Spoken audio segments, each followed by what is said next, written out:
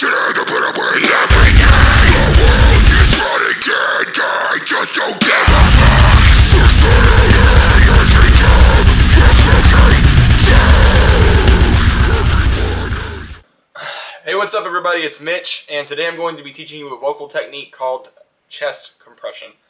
Um, the chest compression technique is done by a lot of vocalists uh, throughout the whole metal genre, and they actually don't. Most of them don't even define it as a technique. It's mostly just the vocal that they do.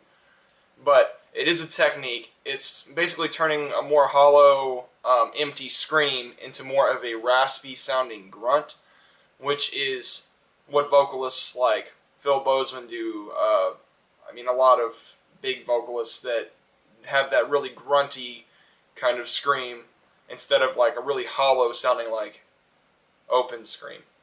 So I'm going to get right into this right now. As I've said before, my camera has a very small memory card, so I can only do short videos. But chest compression basically consists of a regular vocal. Once you know how to do a low vocal, like if you can do like a yeah, yeah, yeah, then you can do a chest compression scream. It's a matter of just getting the, the technique with the tongue and the chest and the throat down. But that was a really hollow scream. Uh, that's what you should start trying to learn is like a really hollow vocal. Like um, I'm going to turn this one into a chest compressed scream. So this is without chest compression, without any form of that. It's just, just hollow. Yo! Yo! Now, if we add chest compression to that, what we're basically going to do is raise the tongue, like have it straight, and raise it to the roof of your mouth behind where your gum starts forming right in the middle of the hard palate of the top of your mouth. Like that. I'm going to have it up. You don't have to have it all the way up. Just have it up. And basically, you're going to turn the scream from yo to yeah, yeah. And you can do this.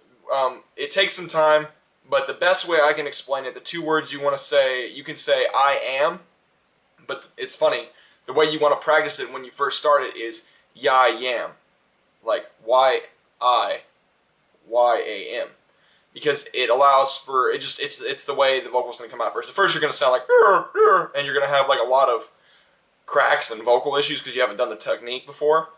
But say ya yam. So if you do it without chest compression, it's ya yam, ya yam.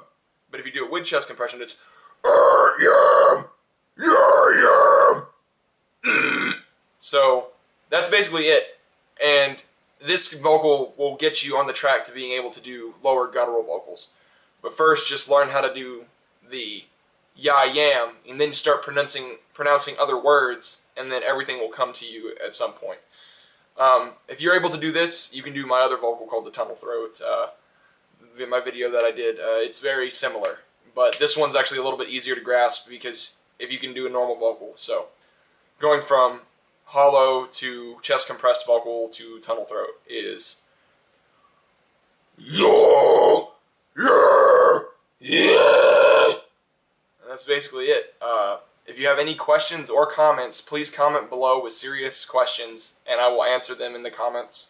Um, be sure to check out my band on Facebook and subscribe, like, and comment on this video. I really appreciate everything you guys have done for me here recently. Um, and yeah, just uh, let me know what you want to see in the next video, and I appreciate it. Thanks.